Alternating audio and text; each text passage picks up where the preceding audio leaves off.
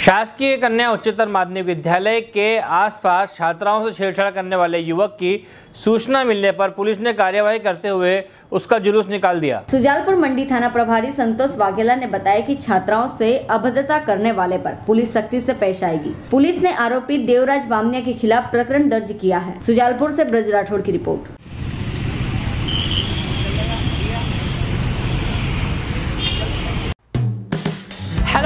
आप देख रहे हैं हमारा channel S W twenty four news हमारे सारे वीडियो सबसे पहले देखने के लिए आप हमारे चैनल को सब्सक्राइब करें और पास में लगे बेल आइकोन को दबाना बिल्कुल भी ना भूलें।